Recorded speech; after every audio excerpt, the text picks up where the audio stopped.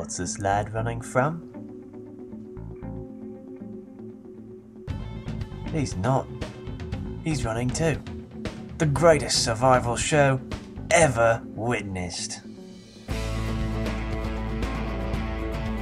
Survivorland.